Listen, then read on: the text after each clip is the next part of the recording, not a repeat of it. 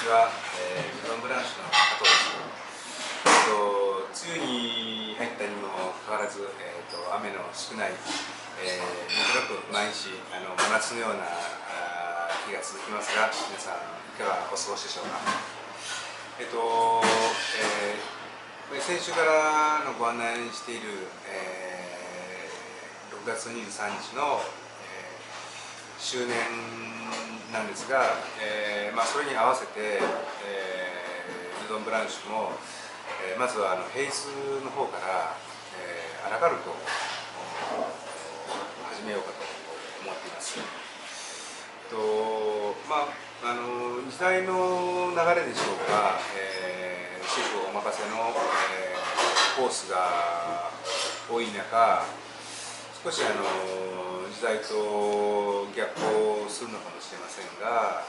どうしてもあの自分の中で、えー、コースが主体になるとあの割とその、まあ、どなたにも喜んでいただける食材をということで割とあの制約が多いなというふうに、えー、日々感じながら、えー、仕事をしていました。まあ、あのアラカルトして、えー、お客様に、えー、お好きな素材を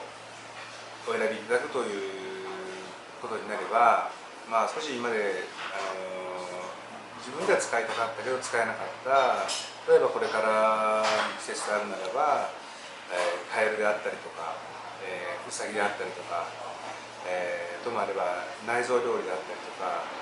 なんかあのそんな料理をなかなかあの作る会も、えー、このとこ少なくなっていましたが、まあ、あのそういうのも含めまして、えー、もう少しあの、えー、仕事の幅を広げようと思い、えー、またアルカルトを始めようというふうに、えー、決めました。あのまあ、そんな意味でまた新しく少しあの趣向を凝らした、えー、うどん男子の料理、え、皆様ぜひ、えー、楽しみにしてください。